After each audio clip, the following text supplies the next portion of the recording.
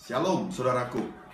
Untuk menjadi seorang penyembah yang benar, orang itu harus bersekutu dengan Roh Kudus.